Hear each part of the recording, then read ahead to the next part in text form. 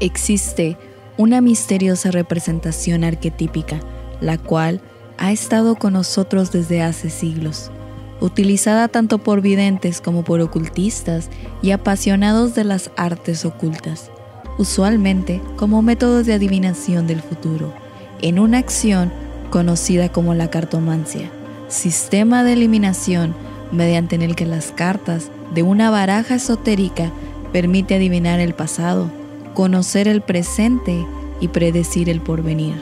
Nos estamos refiriendo al tarot. Hola, estás escuchando Space Cat. Bienvenidos a un episodio más. Esto es el origen del tarot y los arquetipos. El tarot es el libro de magia más antiguo y conocido del mundo. Sus conocimientos se refunden pragmáticamente en forma de una baraja de cartas, las cuales, una a una, contienen los misterios de la vida. Esta baraja se encuentra compuesta por arcanos mayores y arcanos menores, siendo los menores los de menor importancia, conteniendo 56 cartas compuestas de cuatro palos diferentes, interviniendo la astrología, la numerología y la cábala de los judíos. Se cree que la incorporación del tarot data de la Edad Media, pero conocer el origen exacto hasta la fecha ha sido un misterio, surgiendo diferentes leyendas alrededor del mundo en búsqueda de aquel origen exacto.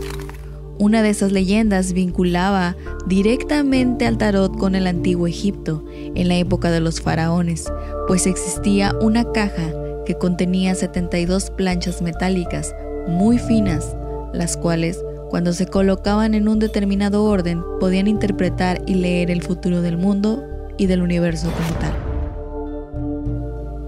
El mítico, legendario y auténtico tarot, el mismo que utilizaban los agnósticos egipcios y sabios de Alejandría, tenía una particularidad, y era que éste solo se encontraba compuesto por los arcanos mayores, siendo así 22 cartas a través de las cuales se transmitían conocimientos esotéricos mediante la utilización de un lenguaje universal de la Tierra, lenguaje que hasta el momento conocemos y ese es el lenguaje de los símbolos. He ahí la importancia del tarot.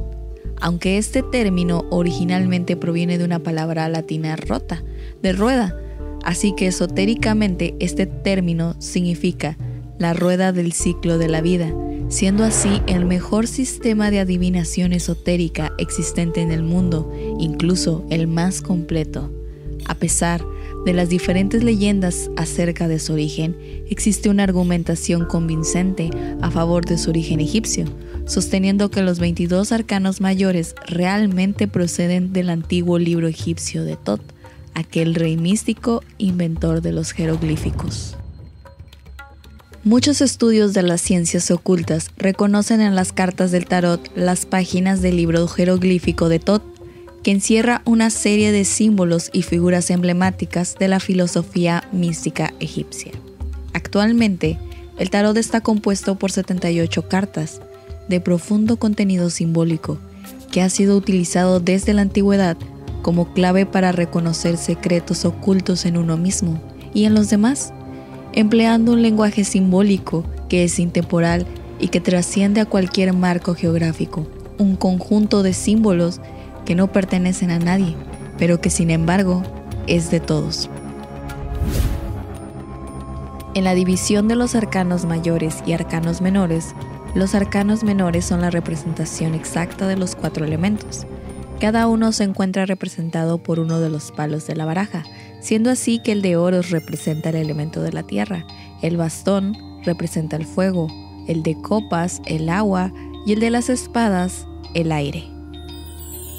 Sin embargo, cuando hablamos acerca de las cartas del tarot, al mismo tiempo nos estamos refiriendo a los arquetipos, ya que juegan un rol muy importante dentro de la baraja, los cuales son conocidos como emanaciones divinas que inundan el universo, carentes de forma y son irrepresentables, impactando nuestro campo vital, activando patrones de energía, haciéndose conscientes por medio de sus efectos. Los arquetipos pertenecen al mundo divino del espíritu, sin imagen ni forma, en un mundo dentro del Creador, que establece patrones de manifestación en la vida, los cuales se visualizan, identifican y representan por medio de imágenes. Imágenes arquetípicas expresadas en las cartas del tarot, siendo puertas hacia la realidad trascendente más allá de las apariencias.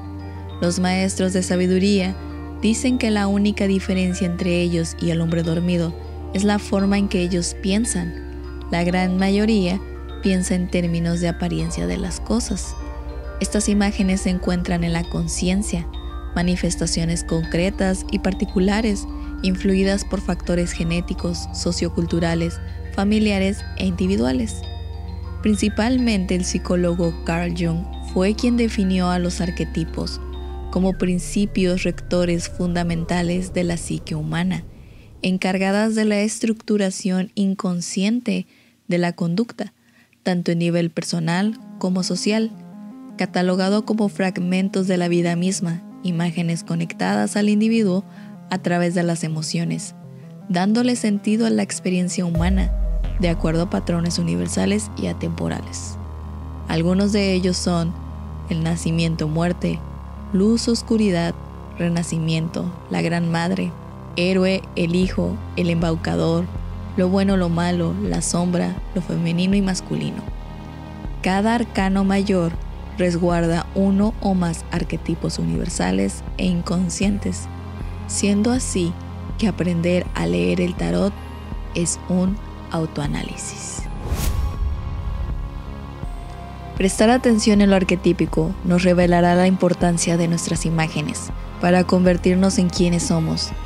Estas imágenes arquetípicas nos refieren a un modo de responder a nuestro campo personal, de experiencias en la vida con la imaginación, una forma de ser que está abierta a muchos niveles su significado abierta a resonancias, ecos, conexiones asociativas y sincrónicas, no solo causales. De esta manera nos pueden llevar a apreciar y nutrir nuestra capacidad de responder al mundo de manera simbólica, conectando con el mundo interior, liberándote de la ilusión, de la separación del mundo interno y externo, de lo divino y lo humano.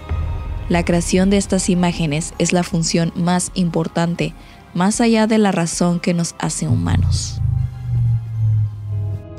El diseño de cada carta de tarot está basado en la sabiduría eterna, descubierta y experimentada por los sabios de todos los tiempos. Es el fundamento interno de todas las expresiones verdaderas de la luz, vida y amor. A través de cientos de años, el tarot ha probado ser una herramienta muy efectiva y segura para modificar los estados de la conciencia, necesarios para realizar transformaciones positivas en la personalidad y en el cuerpo del hombre funcionan tanto como imágenes para meditación como llaves de los planos internos de la conciencia. Como vemos, su uso como sistema divinatorio nunca fue el propósito original de su creación.